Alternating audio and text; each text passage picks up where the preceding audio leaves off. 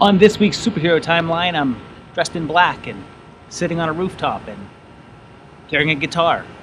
So we must be talking about The Crow. That's right, we're going to find out the continuity and timeline of this rather tragic film series and find out whether continuity makes any sense and also find out the story of the easiest and most commonplace Halloween costume of the 1990s. Based on the J.O. Barr comic series of the same name, The Crow first took flight back in 1994 and starts on October 30th, Devil's Night. Winston here is investigating the murder of a young couple and then bounces to one year later. Eric rises from the dead and has flashbacks to the people who killed him and heals instantly from harm. His killers come out to play, yay! And this whole sequence is much more interesting knowing that it was almost entirely shot after the tragic onset death of Brandon Lee. So, quick info if you don't know Brandon Lee, son of Bruce Lee, was killed on set due to a piece of metal lodged in a prop gun, which fired out and struck the actor, killing him. Although most of his scenes were complete, they were forced to use stunt doubles for some scenes and even use some early computer imaging to place him into new scenes, like this one right here, but actually hold up pretty well for 1994. Eric starts to get his revenge, taking out Tintin. Whoa! No, not that one. The Candyman is here, and Eric gives Jon Polito the high hat. And we made our top villain top dollar, and then the Crow takes out Funboy. And then T-Bird. He has help from Albrecht and young Sarah, and the Thrill Kill Cult is playing their song After the Flesh live at a club. And I mean, it's in universe since the song is from the soundtrack, but they were the peak of their cult popularity in the early 90s, so it was most likely real time 1994 here. But the movie actually does a pretty good job of doing the whole Batman thing, of playing with the wardrobe and cars and such in order to give the film a timeless feel. At times it feels like it's set in the far past, and other times an apocalyptic future, and Skank here is the last to go except for the big boss, and they figure out that the crow is Eric's weakness. They shoot it, which takes away Eric's powers, but the crow gets his revenge, and Eric forces Top Dollar to experience all of Shelly's pain at once and then get spiked. His mission complete, Eric is reunited with Shelly, and I can only hope it was equally as happy of an ending for Brandon finding peace. Well, The Crow was a smash hit, so a sequel came pretty quickly with 1996 The Crow City of Angels, and we're in another big dark city. Okay, so that's a different movie, but still a damn good one. And Sarah's back, now an adult, so it's anywhere from 5 to 10 years after the last one. So, since the original actress was 12 at the time of filming and Mia Kirshner was 21 when they filmed this one, it's fair to say that there's a 9 year difference between the two films, and then this would be set in 2003. Again, though, there's still this feeling of timelessness here as the environment feels even more Mad Maxy than the first one. Everything is really dark and dirty, and is able to maintain the same appearance of being futuristic without necessarily having to be set there. There's a new group of gang guys, including a real wild one, and Jubal Early. And our new crow is a man who was killed along with his young son because they were witnesses to a murder. Sarah does his makeup, and Ash seeks his revenge. Although his greatest enemies actually seem to be a receding hairline and the English language. I'll start making Nemo, and then work my way up the food chain. What? He kills um, Spider Monkey, and then Nemo, and that's Tom Jane. He just wants his kids back. And I don't know who who thought it would be a good idea to have part of Ash's costume be a belly shirt. He gets Kali and then Curve, and that's when you know for a fact that this is a work of fiction. Because let's face it, I'm pretty sure that Iggy Pop's immortal at this point. They capture the crow and kill it, stealing Ash's power. Judah stabs Sarah, and Ash in his half shirt call out.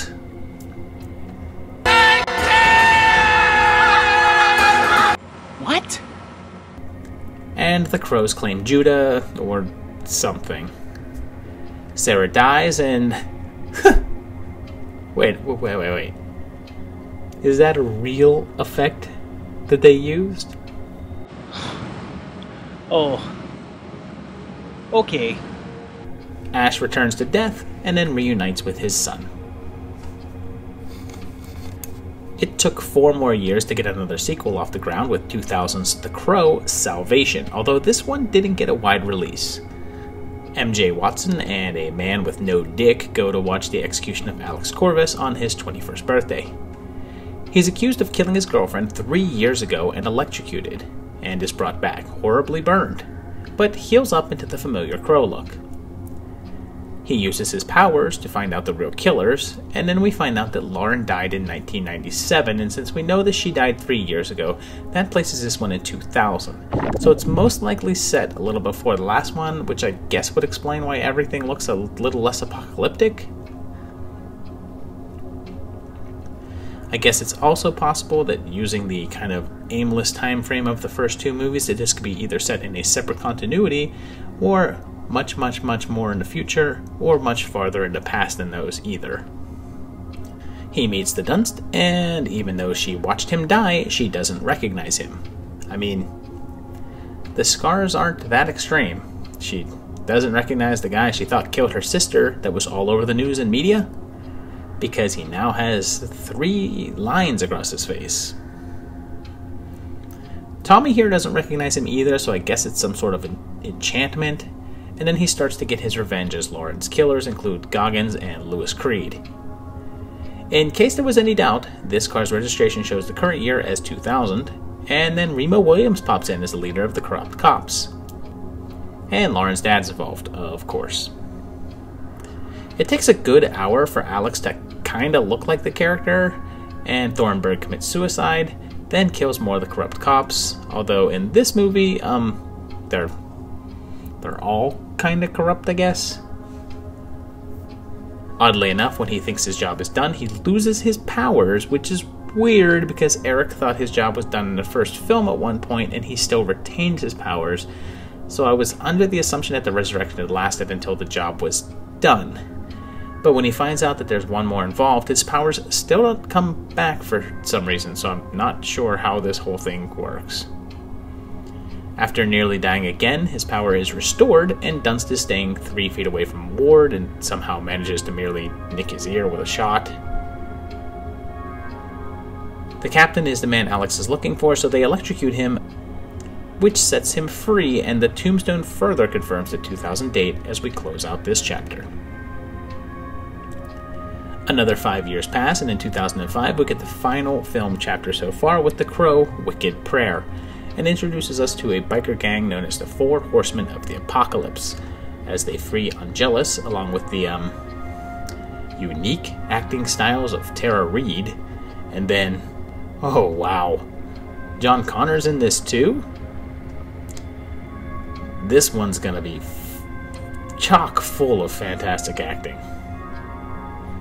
However, did the producers pull off just that much talent? Pecker has a calendar up which doesn't say the year on it, but the days line up with how they fell in 2003, so it's possible that that's our year, and it's also possible that it's just an old calendar.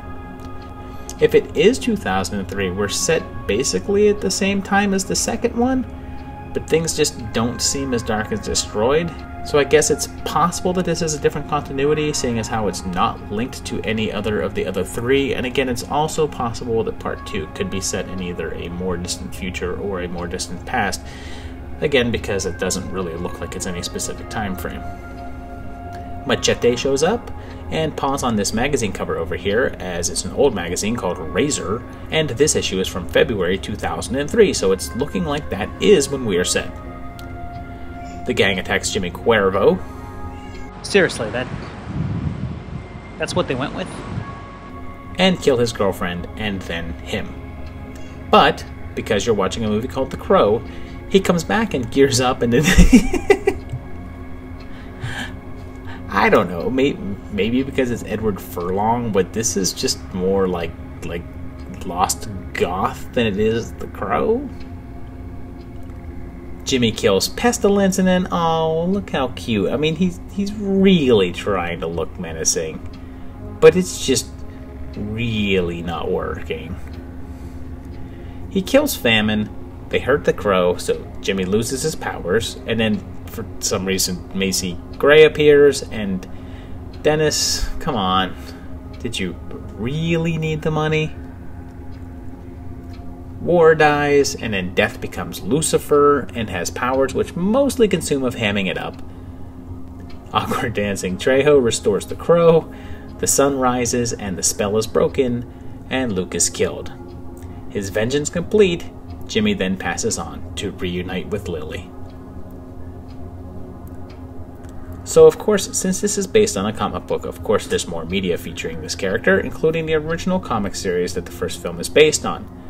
Afterwards, there were literally dozens of other series, including multiple versions of the characters, like in the films, including crossovers with other companies. There were also novels and video games, and, and also a very short lived one season TV series titled Crow Stairway to Heaven. It's basically a retelling of the events of the first film, yet sanitized for a syndicated audience starred Mark Dacascos as Eric. Oddly enough, the show did include the Skull Cowboy character that was cut from the original film. In that one, he was portrayed by Michael Berryman in elaborate makeup. In the show, he's Dwayne Wayne in an elaborate hat. There's also been several attempts to either remake or reboot the film, including a most recent version featuring Jason Momoa.